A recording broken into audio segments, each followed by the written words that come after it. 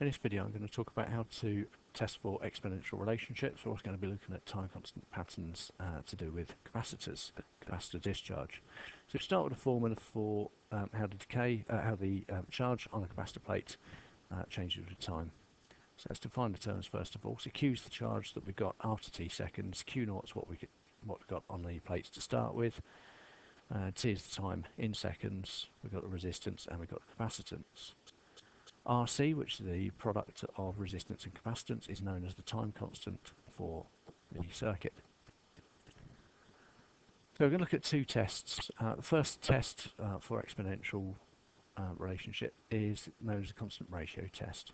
So we start with the formula. What we're going to do is divide by the initial charge we've got here. So we've got um, this is just a fraction of charge that is left after t seconds.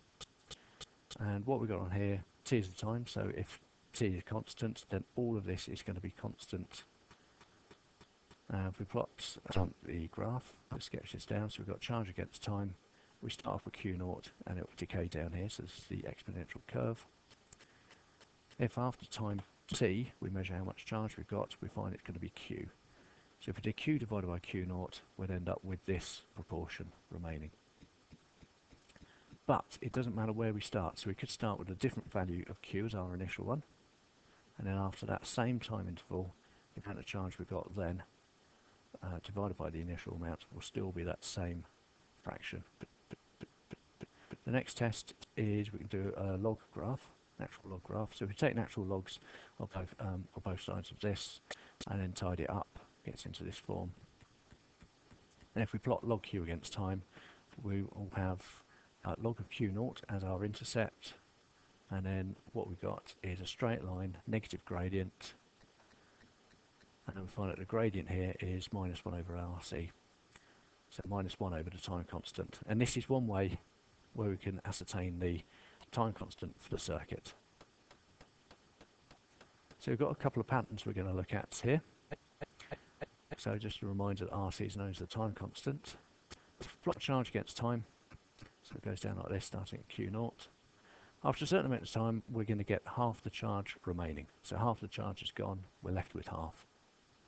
And this period of time will actually be 0.69 times the time constant. This is known as a halving time. So that's one pattern. Half the charge remaining after 0.6 RC seconds. The next pattern we can look at is the amount of time taken to get down to 0.37 Q, um, times the original charge. That actually comes out, that is the time constant. Is the time taken to get down to 0.37 times the original amount. Uh, we're going to see where both of these relationships come from. So firstly, we've got the 0.37 Q naught remaining after RC seconds. So we're going to start with the original formula. And what we're going to do, we're going to say, okay, the time is RC seconds. So what we're going to do, plug this in here. So for T, we put RC. This fraction here comes out as 1. This comes out as q equals q naught e to the minus 1. If we solve that, that's where we get the number 0.374. Then the next one, we got half the charge remaining after 0.69 RC seconds. So again, we're going to start from there. We're going to divide across. So we've now got the uh, fraction of the original charge remaining. And that's going to be, uh, this fraction is going to be a half uh, when we've had the halving time. So I'm going to write this down here, this fraction is half when we've had the halving time.